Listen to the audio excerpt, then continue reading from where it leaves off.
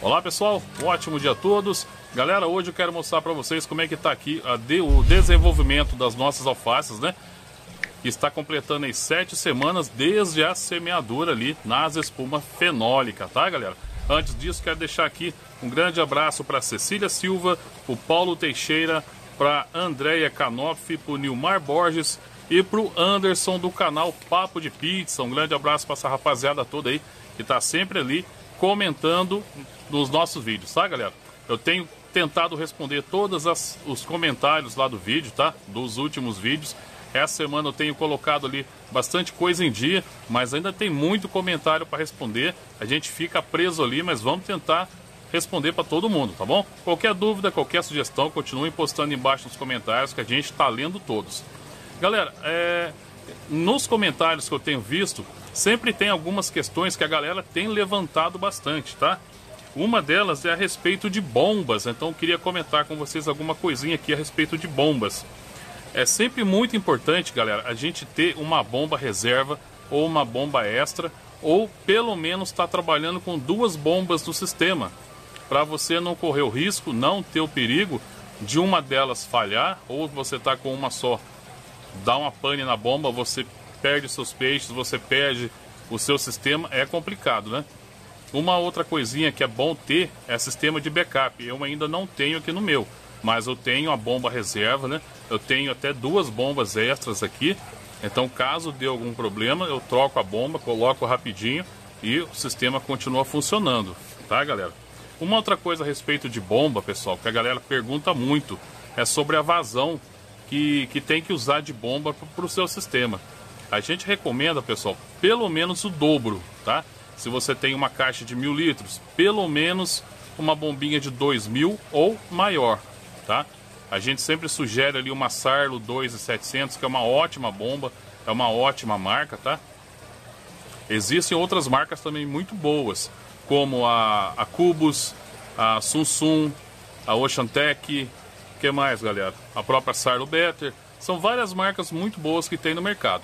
É sempre importante saber de quem você está comprando, comprar com pessoas de confiança e principalmente pedir garantia, tá, galera? Fica aí esse toque.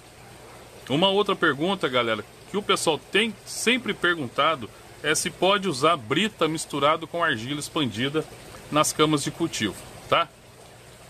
Olha, pessoal, é o seguinte, você pode colocar é, a brita, pode colocar é, casco, é, cacos, né, de telhas ou tijolos de cerâmica. Eu aconselho colocar dentro de sacos de cebola.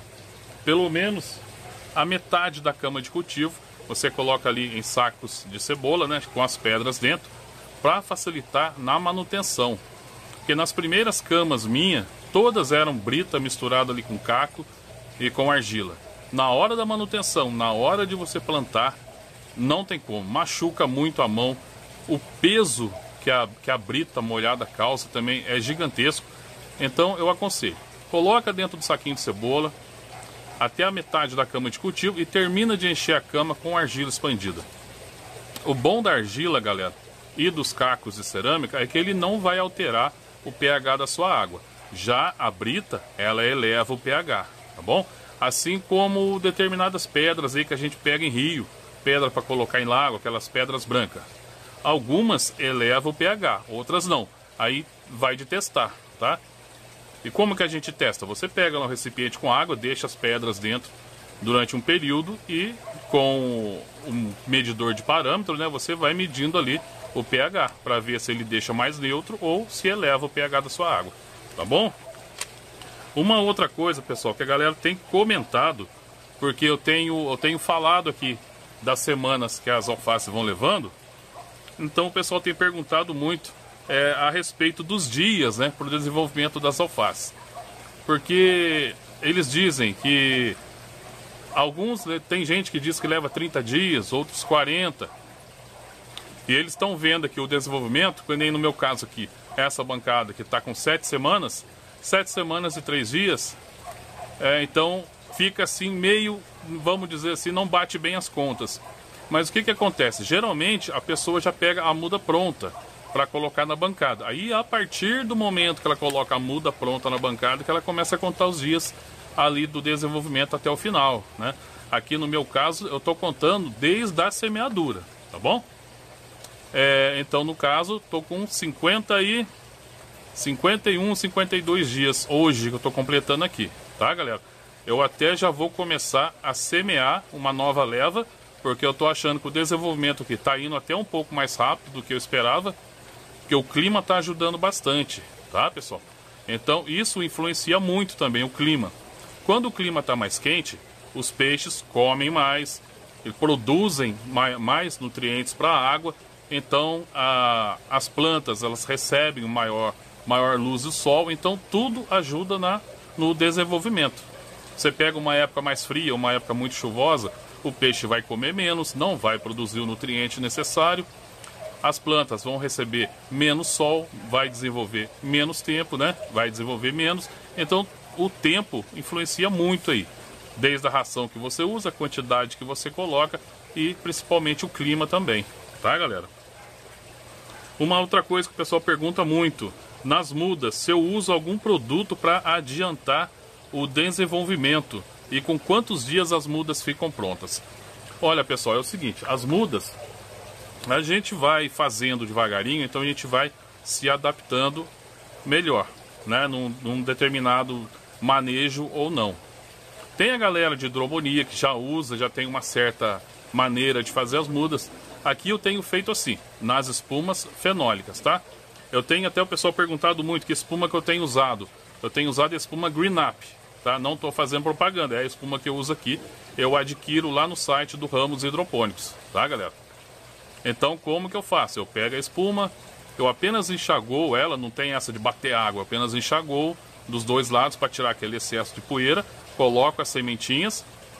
Eu coloco de duas em duas. Outra coisa que a galera pergunta bastante.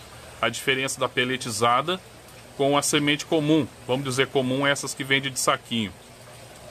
Aqui eu estou usando, galera, vamos dizer semente comum, porque são sementes colhidas das alfaces aqui do próprio sistema. Que foram sementes vindas, é, sementes peletizadas, tá? A semente peletizada, ela desenvolve vamos dizer que ela desenvolve, não, ela tem um, uma porcentagem de germinação bem maior do que as sementes comuns, tá?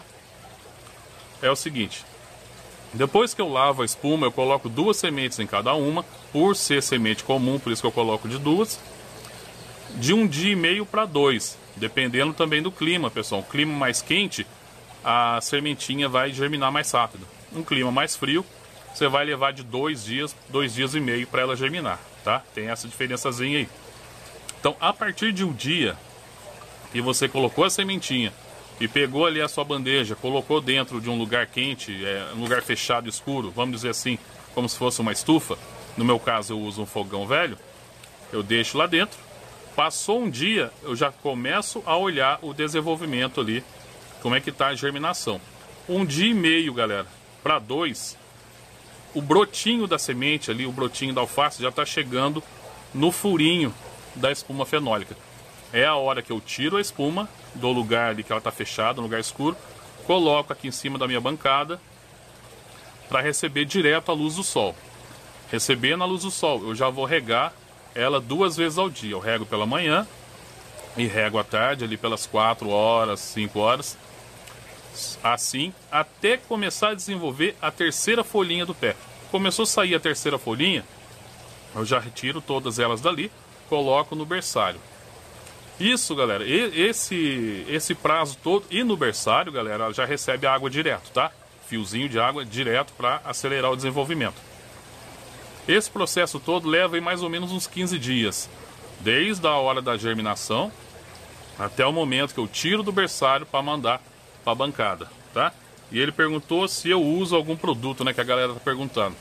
Olha, pessoal, o único produto que eu tenho adicionado aqui no sistema é o quelato de ferro, como eu tenho dito a vocês. Na, nas embalagens do quelato para hidroponia, eles aconselham usar de 25 ali, 25 gramas para cada mil litros de água, né? Assim, de 15 em 15 dias. Isso no sistema de hidroponia onde não tem ali produção de nutrientes, tem aqueles minerais que a galera adiciona na água. No nosso caso, nós temos os peixes produzindo nutrientes. Então a gente vai adicionar o quelato somente para fazer uma correção naquilo que o peixe não está conseguindo suprir para o desenvolvimento das plantas.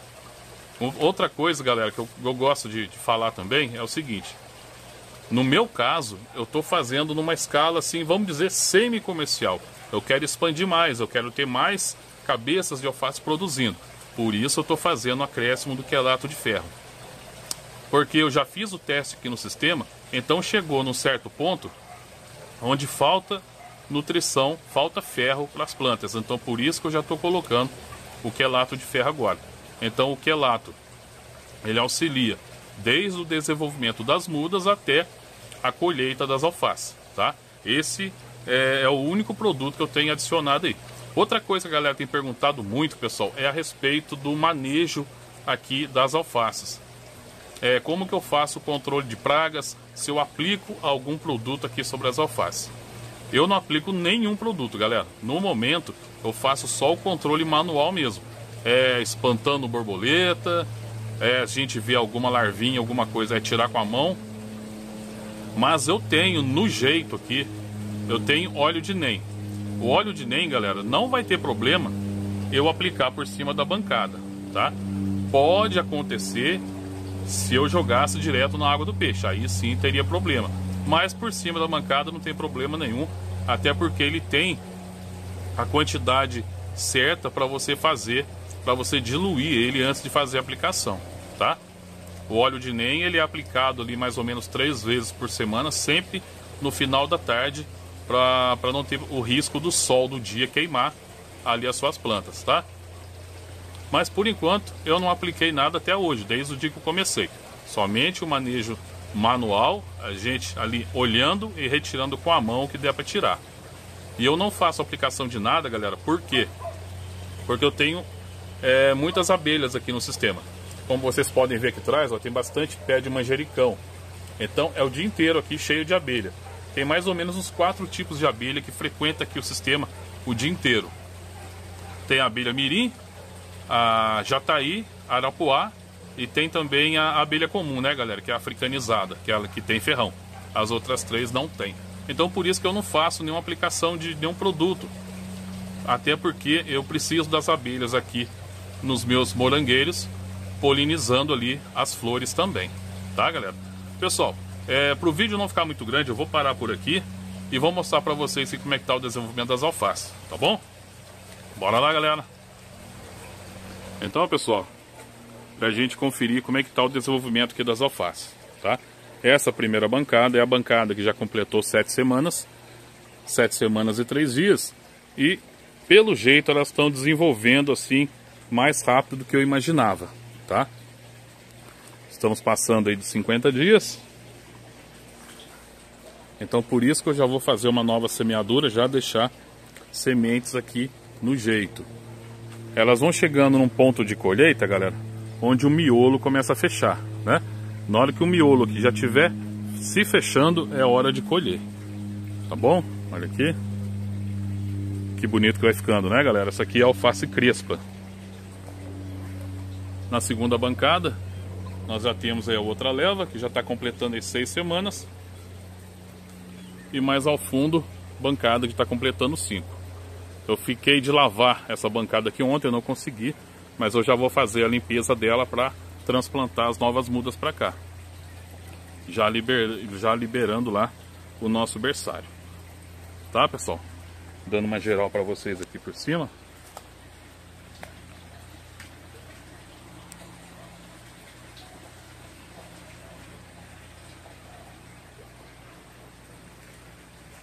Olha só. Tá se desenvolvendo legal, né? Como eu disse para vocês, eu estou fazendo a adição apenas do quelato de ferro. Aqui eu estou adicionando, só para fazer um complemento, eu estou colocando aí 20 gramas de quelato de ferro uma vez por semana. Tá, galera? Então, como hoje é segunda-feira, hoje eu vou fazer essa adição aí. Eu estou fazendo a adição toda a segunda-feira, tá? Vou mostrar o quelato lá pra vocês. Aqui o nosso quelato, galera. Esse é o quelato que eu uso, ó. Esse aqui é o Quelamite MP6, tá? É próprio para hidroponia esse aqui. comentando com vocês aqui, né? A indicação é de 25 gramas por cada mil litros. Se eu fosse colocar essa recomendação aqui no meu sistema, iria muito quelato, né? Porque são 10 mil litros. 10 mil litros seria o quê? 250 gramas de quelato? Muita coisa, né, galera? 250 gramas toda segunda-feira. Muita coisa. Como no nosso caso é aquaponia, a gente precisa só de uma suplementação, pouquíssima coisa. Por isso que eu estou aplicando 20 gramas uma vez aí por semana, tá bom? Somente isso já fica naquela coloração que vocês viram lá. Show de bola, tá? E aqui é o seguinte, galera, ou você usa uma balancinha para pesar, ou quem não tem balancinha, uma colher de sopa. Esse modelo aqui é uma colher de sopa um pouquinho maior, então ela cheia já me dá 20 gramas, tá? Uma colher dessa cheia